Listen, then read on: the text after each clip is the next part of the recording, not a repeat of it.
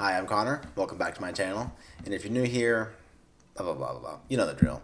Uh, although I do want to say thank you to everyone who's been uh, commenting and, and watching so far. I've been getting some nice comments, which I, which I really appreciate. Thank you. So this is my review of the movie Ambulance. Right out of the gate, I want to say I like this movie. Um, I like it a lot. It's not perfect, obviously, but this is going to be a positive review, and I, and I recommend watching it. So if you saw the title of this video, you might be thinking, a Michael Bay popcorn movie, as opposed to what? A round circle? Wet water? a long Lord of the Rings movie? a racist critical drinker review? I know. The only kind of movies that Michael Bay makes are popcorn movies. So I actually like to think of uh, popcorn movies a little bit different than, than everyone else. I have this definition here. A motion picture without serious dramatic content, a weighty message, or intellectual depth which serves simply as enjoyable entertainment. So technically, yes, all of his movies are popcorn movies. There's definitely no weighty message ever, or intellectual depth, or dramatic content. I, I sometimes there's dramatic content, but but they're, they're definitely all popcorn movies, right? But for me, the way I separate it is there's a difference between big movies and popcorn movies. Big movies are like the Transformers uh, series, which Michael Bay directed a big movie would be like Pearl Harbor or Armageddon. And what separates them for me is big movies are usually like restricted by lore or a story um, that are that already exists uh, that the movie has to be consistent with.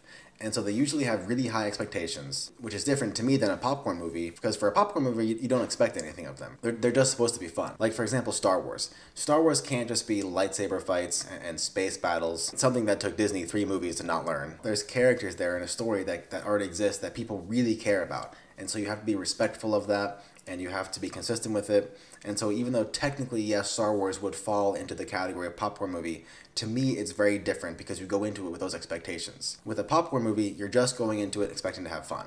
And that's exactly what Ambulance is. And so now, before we get into the, my review, I want to go over the production of this movie a little bit because I think it's, it's relevant. So we're just going to read this from Wikipedia. To make the film feel authentic, the cast was allowed to improvise some of their lines. The production also hired real trauma surgeons, firefighters, SWAT teams, snipers, and 52 LAPD officers for the shoot. The helicopter chase sequence in the LA River was not in the script. Bay came up with the idea after two helicopters became available for use. And I love how Michael Bay takes the opportunity to sell himself as opposed to the movie. He's just straight up bragging about his own he's just he's just straight up bragging about himself. Elaborating on the film process, he said they shot quote 90 shots to 120 shots a day.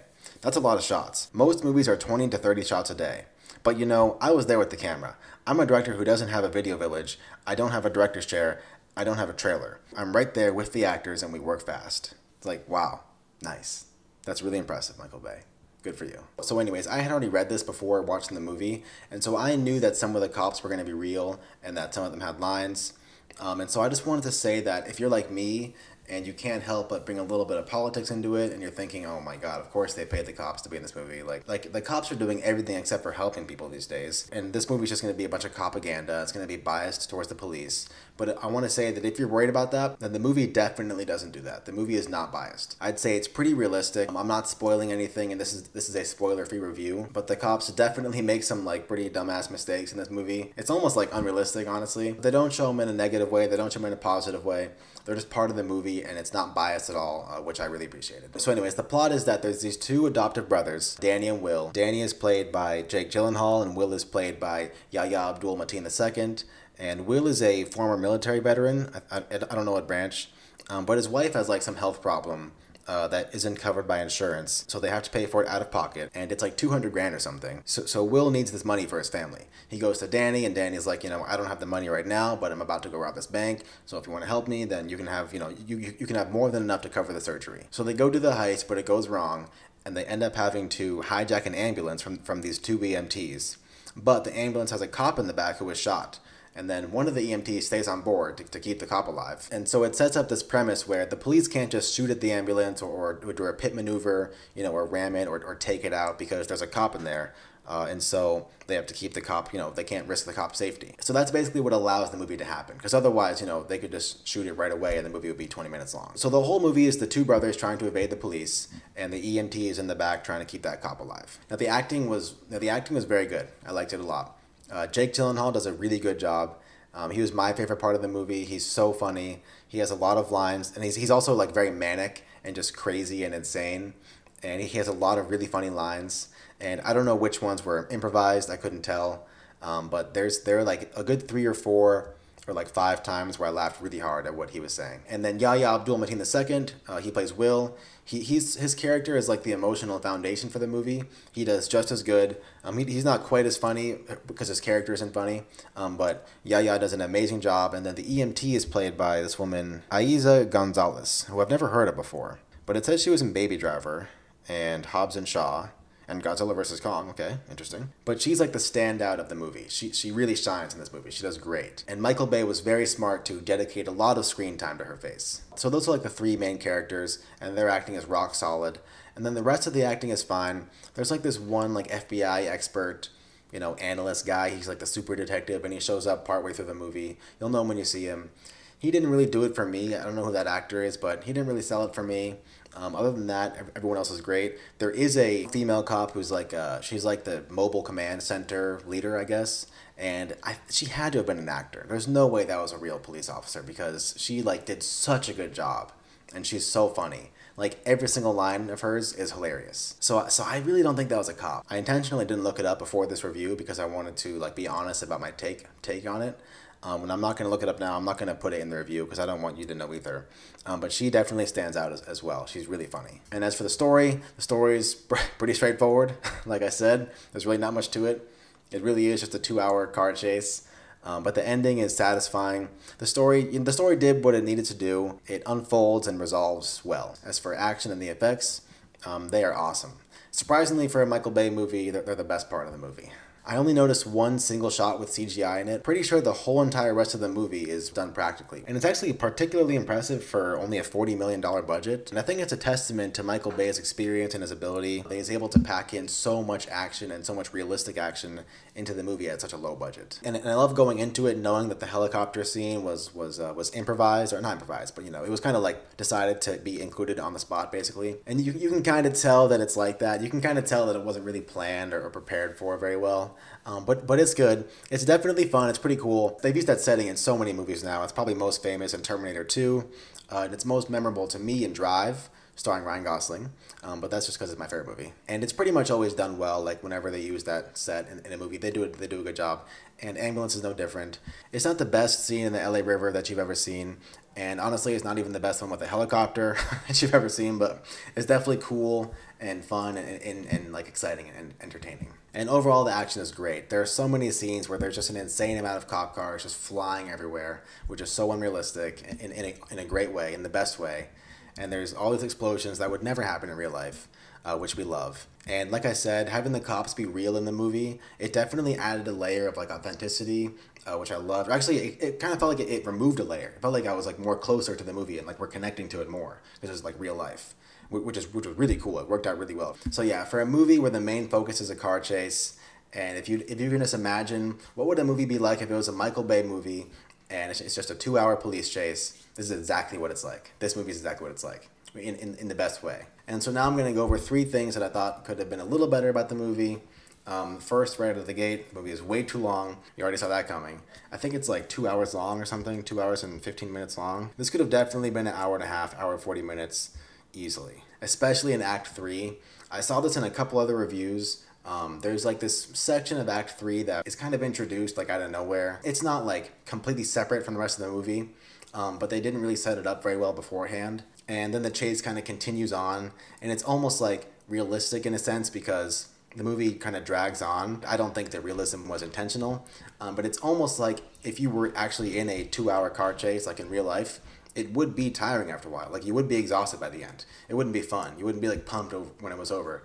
You'd be like, oh my god, when's this gonna end? Like I'm so tired of driving away from the cops. And this movie kind of almost kind of makes it feel like that by the end of it, which is kind of funny. But I really think that Michael Bay's thought process is he wants to give you as much value as possible. You know, show as many explosions, as many cop cars crashing and, and jumping and rolling and flying. I mean, maybe I'm giving him the benefit of the doubt for no reason, but I really think that's what his thought process is, and I really appreciate it. And then the second part is sort of related to the first part. The, uh, the pacing of the whole heist sequence is a little off, but like the time in between when the robbery is over to when they're in the ambulance feels really, really long and like drawn out.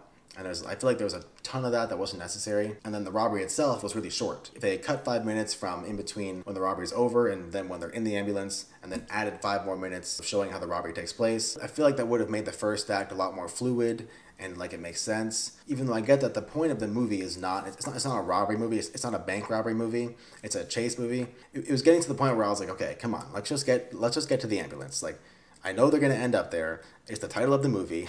you know what I mean? Let's let's get the show on the road. But yeah, those aren't really that serious for me, the main problem with the movie was um, there's a scene at the beginning of the movie, and it shows Will. He's on the phone with the insurance companies, and it's the scene where the audience learns that Will needs to get the money for his wife's surgery by himself. We're learning that the insurance will not cover it, and it's supposed to set up the emotional stakes for the movie, because it, all of the emotional conflict is derived from Will's struggle, you know, with doing something he knows is wrong and illegal, um, but it's for his wife and his family and it's objectively unfair that he can't afford the surgery. And so the audience is allowed to feel justified in supporting this character, even though he's breaking the law. And it's a pretty simple movie, right? It's basically a two hour car chase. So establishing the emotional stakes effectively is really make or break for this kind of movie, and this scene basically fails at that. What they do is they show him on the phone with the insurance company, but then they cut to him standing far away from the camera, or they'll cut to like the bills and the, you know, the insurance paperwork, and then they cut to his wife and then they cut to the baby. You know, the, the wife is holding the baby, and while all of that imagery, you know, is important to communicate, to visually communicate Will's situation, it totally ignores the only source of emotion in the movie, which is the main character's face.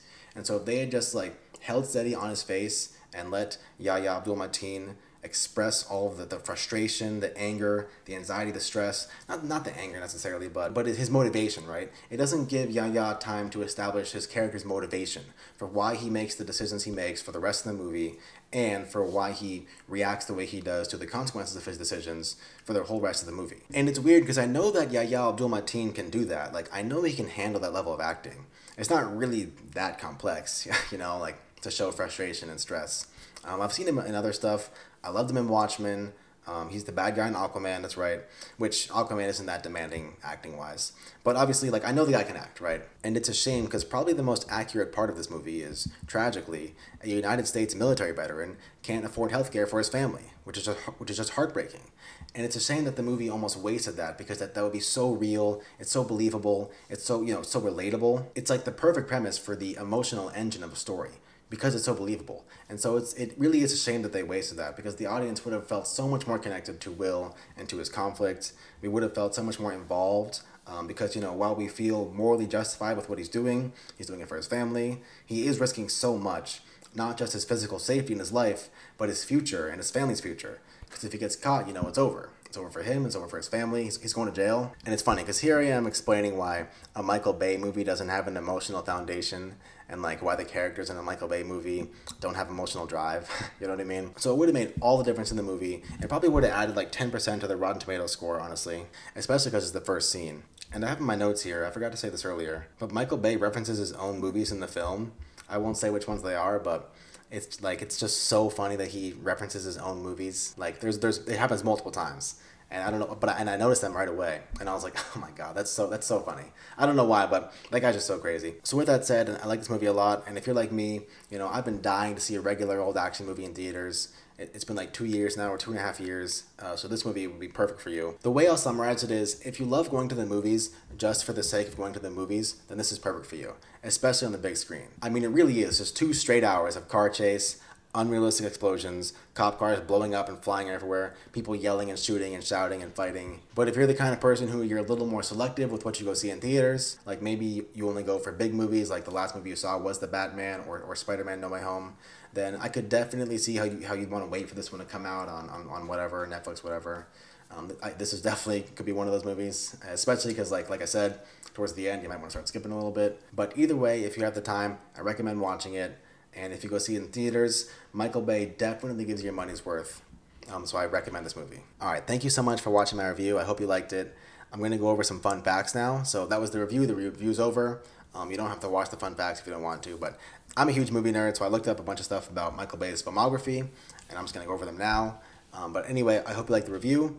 Um, feel free to like and feel free to subscribe. I think I have now, yeah, 29 subscribers. So, I mean, I'm laughing, but it, really does mean a lot. So, thank you guys. Thank you to everyone who's been subscribing and commenting. I really appreciate it. Okay, time for some fun facts. So, if you're a movie nerd like me, then you'll think this is pretty cool. Uh, Michael Bay has directed 15 movies from 1995 until 2022. I have this little chart here that I made. This is the movies, this is the budget, and this is this is in millions by the way. Here's the box office and here's Rotten Tomato score. He's actually out of all 15 movies, he's only ever directed 5 that had a budget below 100 million dollars. And then technically The Rock, which was made in 1996, its budget was 75 million dollars back then, but but after inflation today, the budget would be 135 almost 136 million dollars. So technically, he's only directed 4 movies that costed less than 100 million dollars, which is just crazy. Bad Boys, which is his first movie, Pain and Gain in 2013, 13 Hours, which costed $50 million, and then Ambulance, which costed $40 million. And I was thinking, like, there's probably a joke in here about how even though his, his net worth is like 500 million or something crazy, his movies have grossed a total of $6.5 billion. This is the total of his box office here, 6481. That's $6,481 million. And so I was thinking there's a joke about capitalism, like even though he's worth so much money, like he's generated this much money for, for big companies, so you know, he should be getting paid more. And I was thinking, like, I don't know if that'd be funny or not. But, anyways, his movies have made six almost six point five billion dollars, which is crazy. And the next fun fact is that I had, I did not know this, but Ambulance, which at sixty eight percent is his highest rated movie, it's, tied with The Rock, which came out in ninety six. And every single movie has a lower Rotten Tomatoes score.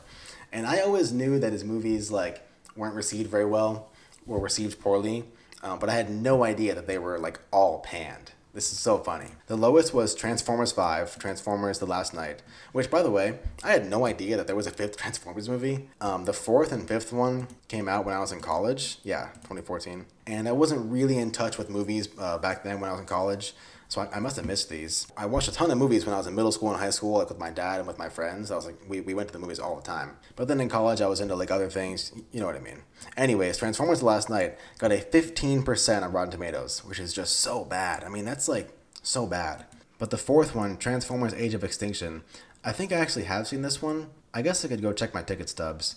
Uh, but 17%, I mean, that is just so low. That's that's so funny. I love how his first movie, right out of the gate, gets 42%, and then they immediately start giving him huge budget movies, like for 20 years straight. Anyways, I thought you might appreciate that. Thanks for sticking around.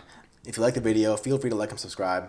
And I want to say thank you to the people who commented on my last video, which was like when I, I tried to review the movie with no script and I just like was rambling and I didn't I actually didn't even say like what the title of the movie was at the beginning. I just started talking about it.